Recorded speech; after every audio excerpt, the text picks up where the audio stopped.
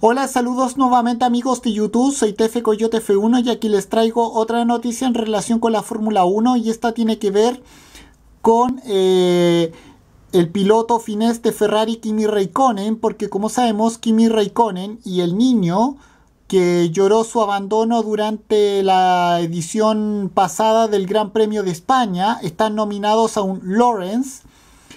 un, y como sabemos eh, este gran gesto del piloto finlandés con el pequeño, con su pequeño fan de 6 años, eh, durante el Gran Premio de España, la reciente edición del Gran Premio de España no ha pasado desapercibido. Fue un gran gesto que ha hecho Raikkonen por invitar a este pequeño niño a